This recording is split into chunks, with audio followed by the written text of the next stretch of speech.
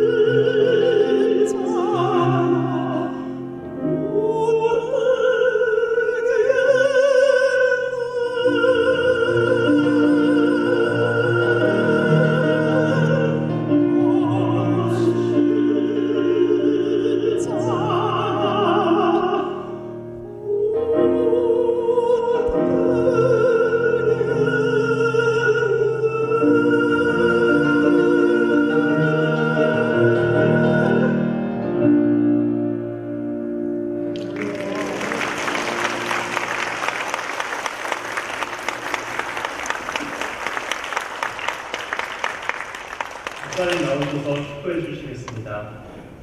기도합시다.